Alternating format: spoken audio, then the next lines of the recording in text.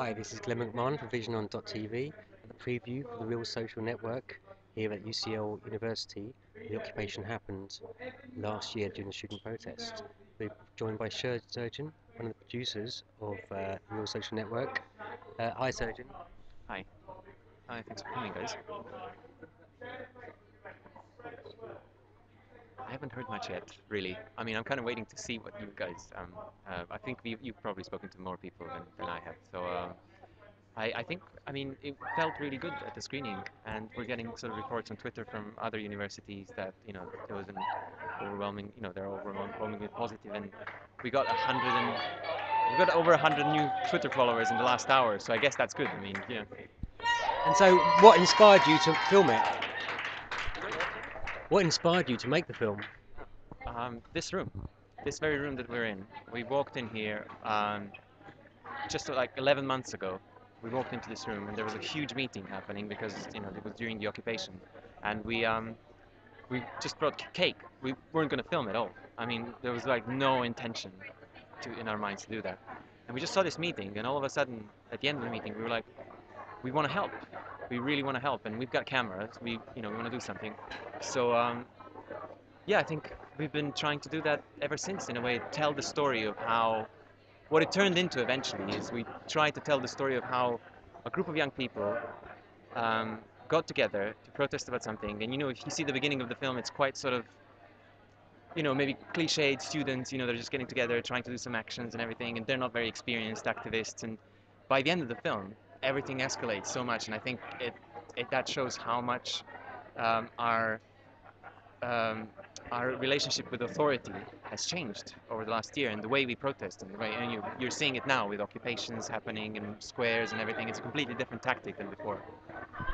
People feel they're more empowered to take things into their own hands. Is that is that what you're saying? That actually you can organise yourselves and can get the media attention that you want and get your voice heard. Is, is that what you're saying?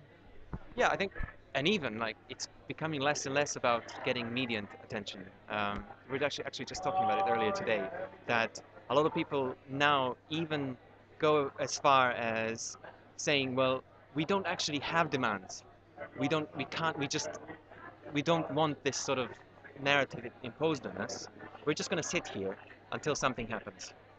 Um, because there's no list that can be made. The list is infinite, you know, if you want to make a list. So I think a lot of people are starting to understand this and um, engage on a completely different level from what we had this time last year, really. So, I mean, I mean, what would you like people to take from the film or learn from the film? That they can be empowered? Is that the main message? That you can use the technology around you and get off your backside, if you like, and you can actually make a difference or be heard or take action? Yes, that, uh, but also that um, there's a you know there's a kind of way that the mainstream media have represented you know the student movement and um, you know the, the movement that grew out of it essentially a wider social movement um, UK Uncut and everything. Um, there's a way they've kind of split the activists in factions. The, the media do that. Uh, what we were trying to show is that it's not so black and white. Things are not so black and white that, you know, the good kids and the bad kids, what the media represented, the, good, good kids and the bad kids are often the same kids. And I mean, in, in your film, you did sort of cover slightly the people from Camden Girls' School uh, and the EMA, but largely a lot of the people who seem to be organising actions do seem to be people at universities and educated people. Um, what sort of space or room is there for people who are from more working class backgrounds who maybe not gone to university to get involved or to organise themselves? Do you think there's space there for maybe a similar film to be made uh, to sort of encourage or show what they're doing?